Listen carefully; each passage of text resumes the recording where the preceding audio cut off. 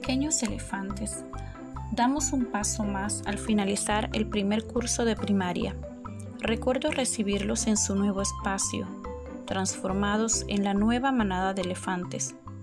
Estaban felices de sentirse grandes. Iniciamos un nuevo recorrido, cargados de emociones. Era imprescindible conectar con la naturaleza de todos, mirarlos, escucharlos y comprender cada amanecer y llegada a nuestro salón.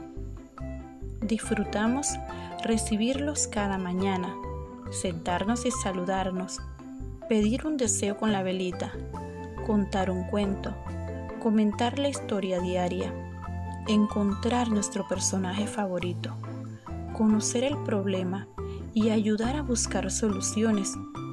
Buscamos en cada paseo respuestas a las preguntas las curiosidades se extendían, aumentaba el aprendizaje. Nos acompañamos como grupo, jugamos, nos divertimos, creamos e hicimos proyectos. Pasaron de leer palabras a oraciones y textos. Disfrutamos de la lectura. Cualquier espacio podía transformarse en el mejor lugar para trabajar enfrentamos a los retos. Se esforzaron por mantener la calma, saber escuchar y esperar cuando era necesario. A veces necesitaron estar solos y reflexionar. Se enfrentaron al cambio, trabajar desde casa, una modalidad sin preparación, pero con amor y paciencia lograron ser perseverantes y llegar a la meta. Hoy pasan a ser los grandes de la manada.